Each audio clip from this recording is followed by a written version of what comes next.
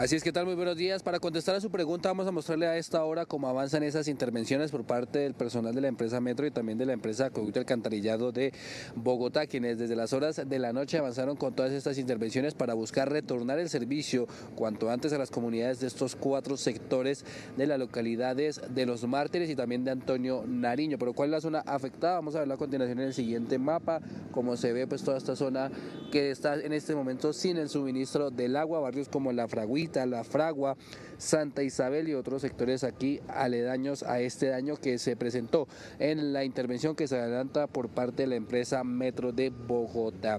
También indicar que la empresa de acueducto ha dispuesto de los carrotanques para que la comunidad se pueda abastecer del servicio en lo que avanzan estas intervenciones. Pero ¿qué es lo que ha dicho la ciudadanía? Pues eso nos dijeron. Hay, hay más o menos sí, pero pues la sorpresa pues siempre es fuerte pero de todas maneras estamos esperando a ver, dicen que ahí en unas dos horas deben estar reconectando el tubo para poder eh, pues nuevamente tener el abastecimiento que nos cogió de sorpresa. Eh, no sabemos cómo, cómo nos va a afectar tanto en los recibos como eh, pues el desperdicio de agua en, en la zona.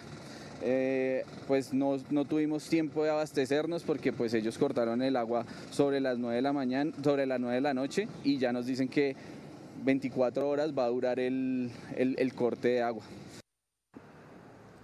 Estamos escuchando lo que opinaba la gente vecina del sector mientras avanzan estas operaciones por parte de las entidades del distrito para retornar cuanto antes el suministro de agua que ya completa más de 20 horas sin llegar a las viviendas y negocios de este sector, situación que por supuesto los ha afectado. Estaremos muy atentos de cómo avanzan estas reparaciones. De momento la información que registramos a esta hora de Noticias del Mediodía. Si esta noticia le interesó o quiere conocer más, no olvide suscribirse en nuestro de YouTube que es gratis, visitar eltiempo.com o seguirnos en nuestras redes sociales.